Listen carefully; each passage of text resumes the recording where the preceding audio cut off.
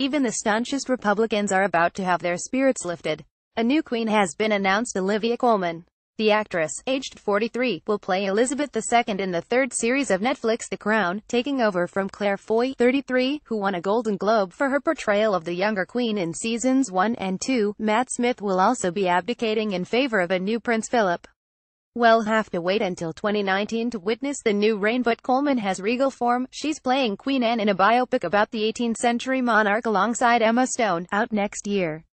She's also Queen of Our Hearts, here is why. She's a proud South Londoner, living in Peckham with her husband, writer Ed Sinclair, and their three children.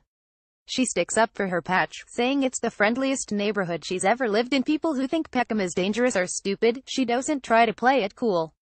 When she was on the Graham Norton show with Lena Dunham and Idris Elba, she made no effort to hide how excited she was to meet them. We get it, starstruck Olivia Colman on the Graham Norton show so TV we want to be in her crew. Meryl Streep called her divinely gifted after they were in The Iron Lady together, and Phoebe Waller-Bridge would walk over hot coals to see anything she does, she has range. Her performance as a consummately bitchy stepmother in Fleabag struck a chord everywhere, and in The Night Manager she played a steely professional, unafraid to take on the world's most evil man. The Crown Season 2 Netflix she's stealthily subversive. Not only did Colman convince the night manager's producers that they should let her be a character who is a man in John le Carré's book, Changing Intelligence Officer Leonard Burr to Angela, but she persuaded them to let her play Burr pregnant because she was expecting her third child. Colman sums it up with typical easy logic there's no reason why a spook should anti get knocked up, so they've embraced it, which is lovely.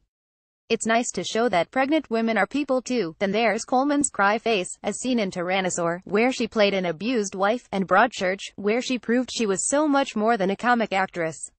She and David Tennant were a faultless double act, with her nervously trying to gauge his moods while she subsisted on a terrible diet of Kit Kats, chips and Scotch eggs, and him yelling her name, Miller RRRR so much it became his catchphrase.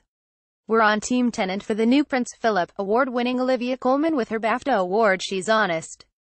She's had Botox, she loved it, her husband found it hilarious, she wouldn't have plastic surgery and says if anyone told me I was too fat for a role, I'd have them and has spoken about her postnatal depression and mental health I was a fairly jolly teenager, but I struggled with body confidence. I had black clouds and still do. It would be nice to tell my younger self yeah I'll be okay. This will pass. And you will be loved. Don't make any rash decisions, she's modest. Her award acceptance speeches are a masterclass in deflecting praise and making jokes at her own expense. After winning a BAFTA for Broadchurch she whispered to her husband that she wanted to go home for a cup of tea. I couldn't take it all in, she said.